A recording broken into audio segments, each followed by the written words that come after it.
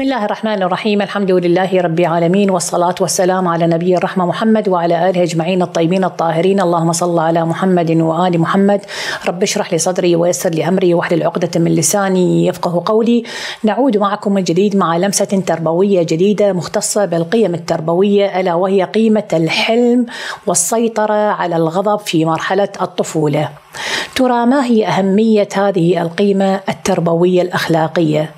بالحقيقة من أكثر المشاكل اللي يواجهها الآباء والأمهات والمربي عموما هي مشكلة الغضب عند الأطفال وعناده وتذمر الأطفال لأجل تنفيذ ما يريدون حتى لو كان هذا الطفل ما يريده أمرا لا يتمكن المربي من تنفيذه أو يتمكن من تنفيذه ولكن كان ضارا على طفله فلذا لا يلبي طلب المربي ولكن نشوف هنا تبدي ردة الفعل العنيفة من قبل بعض الأطفال بالصراخ والعويل والبكاء والبعض يقوم بالضرب أو بتحطيم ما يحيط به.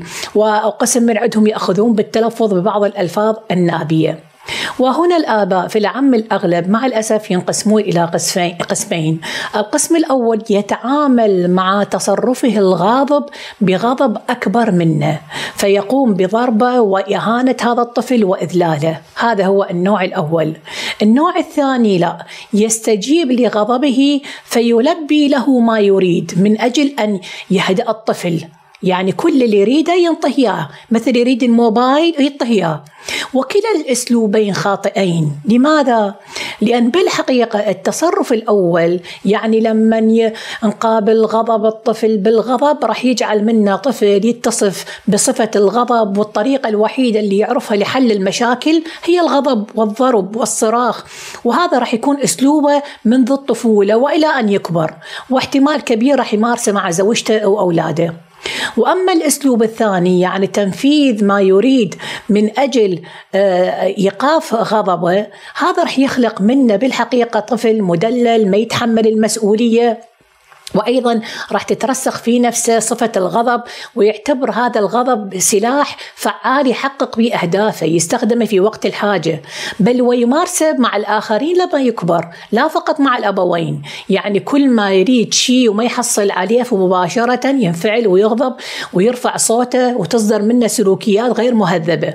وبالتالي راح يكون منبوذ من قبل ذويه ومن قبل المجتمع. ولذا نرى مع شديد الأسف أكثر الزوجات تعاني من غضب وعصبية أزواجهم والسبب الرئيسي يرجع إلى التربية الخاطئة من قبل الوالدين وهكذا الحال مع غضب الزوجات على أولادهن وعلى أزواجهن حتى انتهت كثير من الحالات بالطلاق وضياع الأولاد. وبالأخص في بلاد المهجر طبعا حيث تفرض عليهم قوانين منها سلب الأولاد من أهاليهم في حال التعامل مع الأولاد بغضب وعنف. ولذا نرى من الضروري بالحقيقة تربية تربية الأولاد منذ طفولتهم على الحلم، على عدم الانفعال، السيطرة على الغضب، ونعلمه كيف يتعامل مع غضبه.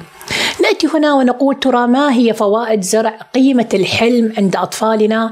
وما هي قيمة أن نجعلهم يسيطرون على غضبهم؟ هناك فوائد. باختصار النقطة الأولى كما ترون في الشاشة هو ضبط النفس. تمنح الطفل الثقة بنفسه لأن راح يكون هذا الطفل محبوب من قبل الآخرين. الأمر الثاني راح يساعده على إنجاز ما عليه من مهام بتركيز هذا جدا مهم. والنقطة الثالثة آه، راح يعين هذا الأمر على تحقيق أهدافه المرجوة فراح يحرز النجاح في شتى المجالات. الآن نريد نجي إلى توجيهات تربوية لازم المربي يأخذها بنظر الاعتبار. كيف نتعامل مع غضب أطفالنا؟ هاي نقطة جدا مهمة. هناك مجموعة نقاط لازم على المربي أن ينتبه إليها ويراعيها في كيفية التعامل مع غضب الأطفال. فنريد نتعامل مع النقطتين التي ذكرناها سابقا لأنها طريقة غير صحيحة. إذا كيف نتعامل؟ فتعالوا نتابع مثل هذه النقاط. الأمر الأول هو تجاهل الغضب. يعني شنو؟ خاصة إذا كان هدفه من الغضب أن تستجيب أنت لمطلبه. فأنت إذا جاهلت غضبه راح يعني تأدي له رسالة أنا أستجيب لك فقط عندما تهدأ. أما إذا استجابيت طفلك في وقت الغضب راح كأنما الرسالة اللي توجه هي أنت لما تغضب أنا راح أحقق لك كل ما تريده وهذا أمر جدا خطير. إذا لازم تفهمون هذا الشيء تجاهل الغضب. هاي نقطة مهمة. النقطة الثانية استبق الغضب. يعني اتفق مع طفلك. قبل لا تخرجون مثلا للسوق على بعض الأشياء مثلا الأب ياخذ ابنه أو الأم تاخذ ابنها تردون تروحون مثلا تسوقون تفرضوا تشترون آه، مثلا ملابس من محل الملابس له راح أشتري ملابس فقط. ما راح نشتري أي لعبة. لا تغضب إذا شفت أنت أي لعبة. هذا الاتفاق طبعا راح يخليه ما يغضب. النقطة الثالثة وهو كوني قدوة في الهدوء أو المربي بشكل عام لازم أن يكون قدوة في الهدوء. لازم يحرص على أن يتعامل مع مشاكل الطفل بهدوء ليتعلم الهدوء من من من المربي. في حالة غضبة أنا الأفضل أنزل لمستوى الطفل تكون عين بعينه مثلا وأنظر إليه وأكلمه بهدوء وأخبره بأن هناك أكثر من طريقة يقدر يعبر بها عن مشاعره عن عدم رضا وأفضل طريقة ماما هي الحوار سولف وياي مو الصراخ والعصبية. وإذا شفتي الطفل غاضب فتعاملي معه بهدوء ولكن مو برفع الصوت وتذكرين بأن آه، دائما بأن الطفل الغاضب هو مو قليل أدب ولكنه فقط ماذا لا يجيد التعبير عن مشاعره بطريقة صحيحة.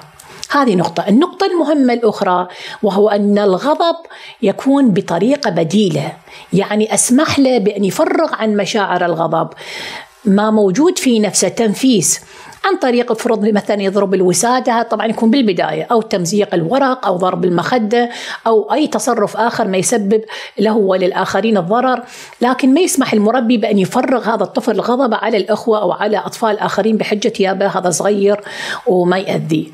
النقطة الأخرى هي تشتيت الغضب. يعني ألفت انتباه طفلك لما يشوفه غاضب لشيء آخر ما له علاقة بالموضوع موضوع الغضبة مثلا تشير إذا هو صغير مثلا عمره سنتين ثلاثة تشير اللمبة. شوف اللمبة هيك هكذا مثلا تقول له أو ماذا قال الأسد؟ وتروه صورة أو صورة لعبة مثلا أو كلمة يتكلم الأسد يطلع صوت مثلا وين الماما؟ يعني كأنما في لغة التنمية يسموها العصف الذهني حتى يشرد ذهنه ويقلل هذا من حدة الغضب. الغضب. النقطة الأخرى هو الصبر. إن هاي نقطة جدا مهمة فنذكر بأن المشكلة ليست في الغضب بل في كيفية التعبير عن الغضب. فالغضب بالحقيقة هو سلوك فطري عند الإنسان والطفل كل ما كبر سوف يعبر عن مشاعره بطرق أكثر انضباطا. فالصبر هو أحد الحلول لتجاوز هذه المشكلة. فحتى أزرع هذه القيمة في نفوس أطفالنا لازم نستخدم أساليب تربوية متنوعة وراح نتكلم اليوم بما يسمح لنا الوقت المتبقي منه عن فقط أسلوب التربية بالموعظة والحوار والبقية نوكله في الفاصل الآخر. اللي يركز الأسلوب التربية آه، بالحقيقة والحوار هذا أسلوب الأول اللي راح نتكلم عنه على الأسلوب الكلام والإقناع بالرفق واللين. مثلا أشرح لطفلي بانك تتفهم مشاعره ولا بد من أنه يضبط نفسه. آه، أعلم أنك تحب هذه البرامج وأنت تحب تلعب بالموبايل لكن الآن وقت النوم مثلا تحاكيه وتكلميه بهدوء مو بالكلام والصريخ والتهديد. أكو هناك تمارين لهذا الأسلوب نذكر منها ما يلي.